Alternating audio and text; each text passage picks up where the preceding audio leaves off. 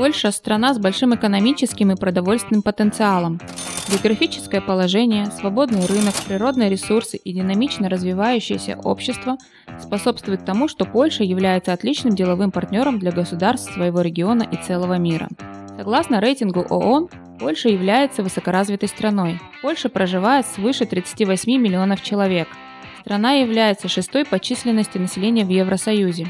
Население Польши живет преимущественно в городах.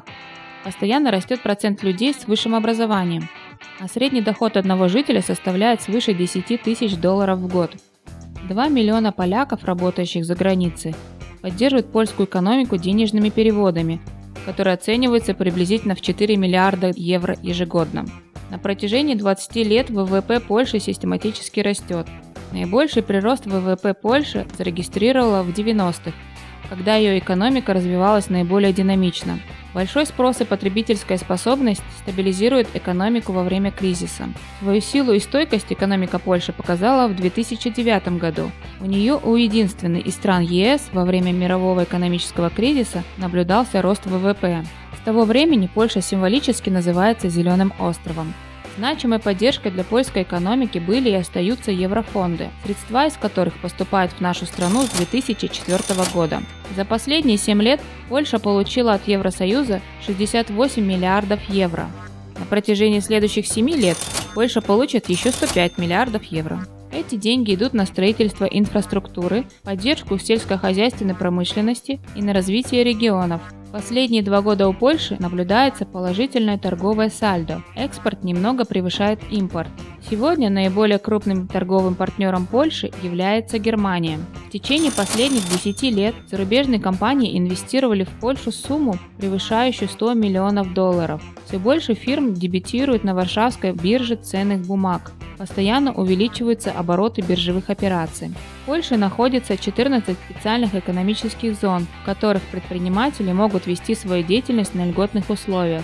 Их задачей является привлечение внутренних и зарубежных инвесторов, а также развитие регионов, в которых эти зоны расположены. Растет популярность польских брендов за границей, особенно в косметической, мебельной и пищевых отраслях. В магазинах косметики мы можем найти продукты фирм Inglot, Доктор Ирена Эрис или Evelyn Cosmetics. В кафе можем выпить кофе Макате, а на компьютере можем поиграть в игру Dead Island фирмы Техланд. Польская мебель стоит во французском Елисейском дворце, в здании Совета Европы и здании ООН. Факро, Друтекс, Онкопласт снабжают мир окнами, а продажей автобусов и трамваев занимается фирма Solaris. Благодаря котирующимся в мире университетам на польском рынке труда находится достаточное количество квалифицированных специалистов для того, чтобы удовлетворить потребность всех отраслей экономики, от маркетинга и рекламы до космической промышленности. Уже несколько лет уровень безработицы в Польше уменьшается. По прогнозам на 2015 год упадет ниже 10%. Слабым местом польской экономики, особенно для среднего и малого бизнеса, являются высокие социальные оплаты – и сложная система налогообложения.